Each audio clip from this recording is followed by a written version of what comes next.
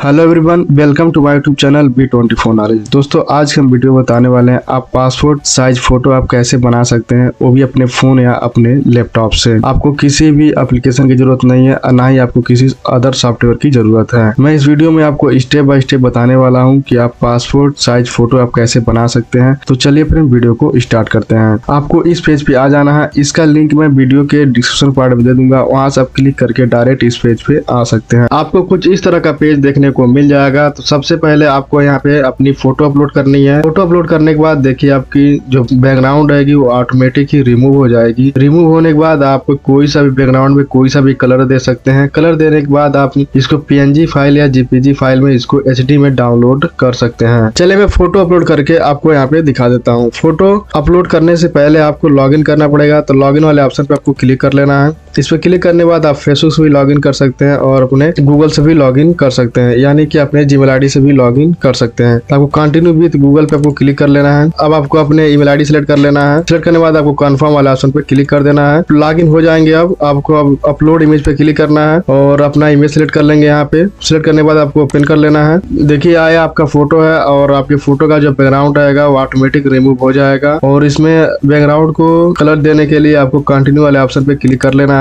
यहाँ पे आपको पेपर साइज़ सेलेक्ट कर लेना है। पेपर साइज़ आप जो भी रखना चाहते हैं, रख सकते हैं। ज़्यादातर ये फोर साइज़ ही यूज़ किए जाते हैं। इसको आपको सेलेक्ट कर लेना है। सेलेक्ट करने के बाद आप बैकग्राउंड में कलर देना चाहते हैं। इस पे कलर वाले आइकन पे क्लिक कर लेना है। इस पे क्लिक करने के बाद यहाँ पे बहुत सारे कलर आपको देखने को मिल जाएगा। जो भी आप कलर देना चाहते हैं बैकग्राउंड में, वो आप कलर दे सकते हैं। चलिए मैं रेड देना चाहता हूँ तो रेड वाले ऑप्शन पे क्लिक कर देंगे। अदर जो भी आपको कलर देना है, उस कलर पे आपको क्लिक करके अपना जो बैकग्राउंड कलर है, उसको आप चेंज कर सकते हैं। और एक ऑप्शन आपको देखने को मिल जाएगा सूट वाला ऑप्शन देखने को मिल जाएगा। इस पर आपको क्लिक कर लेना है। इस पर क्लिक करने के बाद आप जो भी सूट आप सिलेक्ट करना चाहते हैं, वो आप सिलेक्ट कर सकते हैं। यहाँ पे बहुत सारे सूट आपको देखने को मिल जाएगा। जैसा भी आप चाहते हैं, वो आपको सेलेक्ट कर लेनी है। सिलेक्ट करने के बाद देखिए फ़ोटो आपका कुछ इस तरह का आपको देखने को मिल जाएगा। तो आपको डन वाले ऑप्शन पे क्लिक कर लेना है। डन वाले ऑप्शन पे क्लिक करने के बाद यहाँ पे लिखा हुआ है पीएनजी फ़ाइल और जीपीजी फ़ाइल में इसको डाउनलोड कर सकते हैं एचडी में। चलिए मैं पीएनजी फ़ाइल या जीपीजी फ़ाइल में डाउनलोड करके आपको दिखा देता हूँ। करने बाद इसका जो इमेज क्वालिटी उसको बढ़ा सकते हैं आप और यहाँ से आप इसको डाउनलोड कर सकते हैं। डाउनलोड करने के बाद आपकी डेस्कटॉप तो सेव हो जाएगी। यदि आपको और भी कुछ चेंजिंग करना है तो आपको फिर आपको कंटिन्यू वाले ऑप्शन पे क्लिक कर लेना है।